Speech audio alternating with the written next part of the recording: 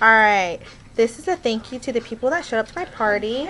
Yes, dude. Okay, I tried this five times and I swear, no, more than five times and it didn't work. But I just want to say thank you for the people that came to my party and I hope you guys enjoyed yourselves. And for the people that actually showed up, thanks. I really appreciate it. And May for having it at her house and cleaning up after everyone. Thank you so much. It was very grateful. It was very grateful. What the hell? I'm very grateful.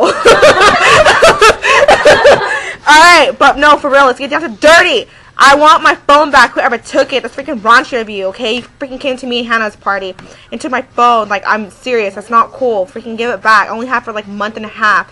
And I was barely getting everyone's numbers back, and I'm really sad. I just want my SIM card. And you guys could do whatever you want with the phone, but please, I want it back. Like, for real. Oh my god. I've been like freaking four phones just this year, and it's only March. So please, give me my phone back. Oh my god. Yes! One and then upload it. That's what I'm doing now. Please give her her phone back. Please give me my phone back. Like I Ah, I don't have it. Like I'm like every time I leave my car I'm like, "Okay, I got to get my phone and the keys." I don't have my phone anymore.